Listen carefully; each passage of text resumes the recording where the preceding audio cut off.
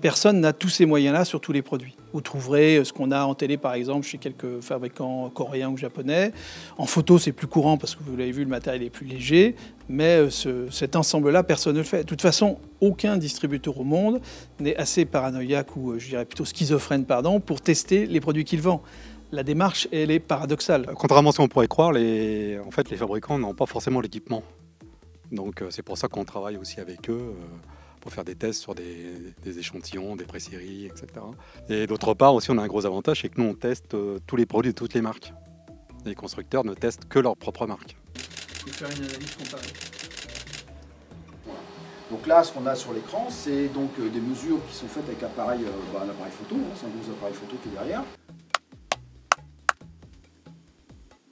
Il n'y a pas d'écho. Voilà en, termes de production, c'est plus efficace comme ça. C'est-à-dire que moi, je suis spécialiste dans l'informatique. On a un spécialiste audio, on a un spécialiste écran, euh, une spécialiste photo aussi. Euh, si jamais on était polyvalent un peu trop, on ne pourrait pas être à même de, regarder chaque spécificité ou chaque nouveauté. On est obligé, d'être un peu en veille technique et technologique sur les, différentes euh, choses, différentes innovations. Donc on est obligé d'être quand même un petit peu cloisonné, sinon on s'y perd. On est tellement passionné que on irait voir partout et on perdrait du temps.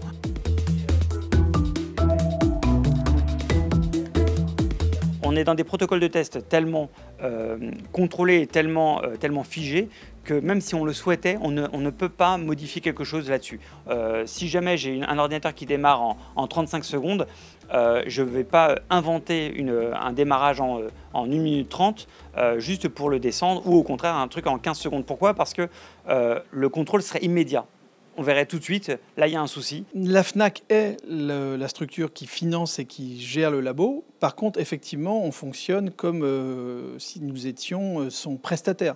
Donc en fait, la FNAC va nous demander de tester les produits, on va lui produire des résultats qu'elle va afficher sur ses sites. de la même manière, avec le site du labo, on produit des résultats. Et on rajoute une couche d'interprétation qui est importante, qui est celle qui est rédigée par nos équipes euh, de rédacteurs.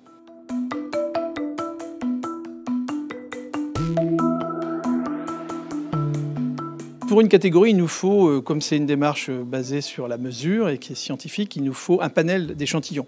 Donc pour qu'on puisse s'intéresser à une catégorie, il faut qu'on ait pu avoir dans la main une trentaine, une quarantaine d'échantillons de cette catégorie, qui ait une homogénéité minimale euh, dans les produits, que ça soit pas du tout et n'importe quoi, comme on a pu l'avoir sur les montres, qui du coup sont une catégorie qui n'est pas très définie. Les montres connectées, il y a beaucoup d'interprétations. Donc les éléments communs sont faibles on pourrait mesurer l'autonomie, la précision de l'analyse des des choses comme ça, qui font que pour l'instant, ce qu'on a regardé ne nous permet pas de construire un, ensemble de mesures fiables, reproductibles et euh, donnant euh, les moyens de construire une note.